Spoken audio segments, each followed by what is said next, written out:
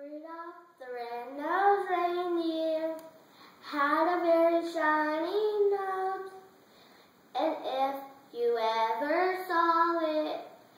you would even say it glows. All of the other reindeers used to laugh and call him names, and they never let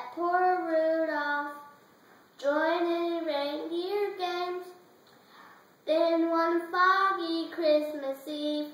Santa came to say, Ho, ho, ho, Rudolph, with your nose so bright, won't you guide my sleigh tonight? Then how the reindeer loved him